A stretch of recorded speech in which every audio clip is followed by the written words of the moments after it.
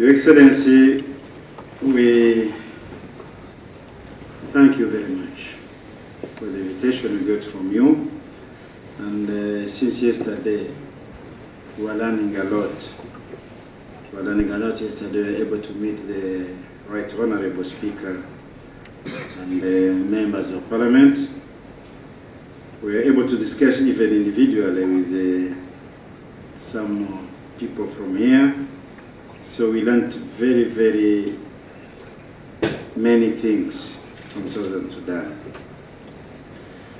Your Excellency, I present you the greetings from the Speaker of East African Assembly. He would like to come himself leading this delegation, but due to unavoidable circumstances and uh, other commitments which are important also, he was unable to come himself. But he sent his greetings to you and to the people of Southern Sudan, and he supports the CPA, and he supports also the referendum to be held on uh, 9th January next year. That, of course, you know, the people who are here, some of you were here in the last visit, and most uh, or some of you have been with us in Southern Sudan during the war. Uh, somebody to my left here have been even to our village and all those people have been, have been. I, I would like, you know, all of you to visit different parts of Southern Sudan. As you have seen in Jonglei, in Bor, nothing has been done. And if you can ask, you know, why are people in Southern Sudan are always very angry and fighting the government in the north? You can see from uh, what has been done on the ground. Nothing has been done. Juba was not like this when we came in in 2005. And so, if this is now the state of Juba, which is said to be the capital of, uh, of Southern Sudan, if it is in this shape, what do you think is in that? Bor is one example that you have seen. If you were to go to Arab, where I come from, that state I come from, you will not even like it. Uh, you will not understand why was it why is, why is it called a state? No infrastructure, there is nothing. Bor is even better than than, than Warab, uh, if you were to go there. And so Southerners did not fight because they just like the war, they just they like to fight. No. they were fighting because they have really been denied everything and they were the most marginalized people. There are other areas in the north that are even worse off than the south. But because they have no mentality of the southerners. Southerners, once they are angry, they resort to violence. And this is what the people in Khartoum understand. When you become violent, they will come to you tomorrow to come and talk. I don't know why, why are you, why, why are you so angry? What is, what is it? this is why Southern Sudanese gain this autonomy that they are now living in today. The other people in the north, nobody considered that. So this is our situation. I'm not advocating for violence in the Sudan. Uh, this is our situation that we have been living in. We are born in this crisis and then we now have grown old in this crisis. Uh, thank you.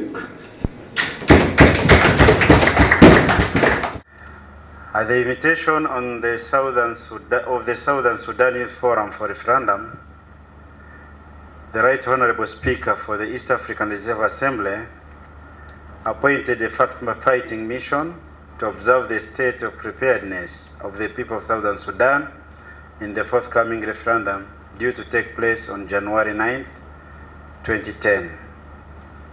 The mission arrived in Juba on 10th December 2010 and will depart today, December 12, 2010.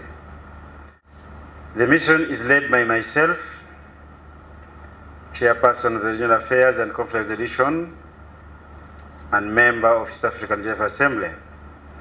Other members of the mission are Honorable Yves Sabimana, Honorable Frederick Ngezeboro, Honorable Manasse Zogwanimha, Honorable Georgette Nibitanga, Honorable Pierre Damien Habumuremyi, Honorable Dr. Amani Kaburu, Honorable Dr. F.L. Masha, Honorable Kate Kamba, Honorable Sarah Bonaya, Honorable Christopher Nakuleo, Honorable Augustine Lotodo, Honorable Mike Sebalu, Honorable Major General Mugisha Muntu, Honorable Margaret Ziwa, Honorable Dora Kanabaita Byamukama, Honorable Ruben Oyondi, Honorable Leonce Naruwagie, Honorable Jacqueline Mongaire, Honorable Clarkson Karami, and uh, the staff, Mr. Charles Kadonya and Mr. Mukhtar Abdul Boliao. The Yala fact-finding mission had the following objectives. One, to appraise itself of the state of preparedness of the people of the Southern Sudan situation on the ground and the arrangements in place for the forthcoming referendum.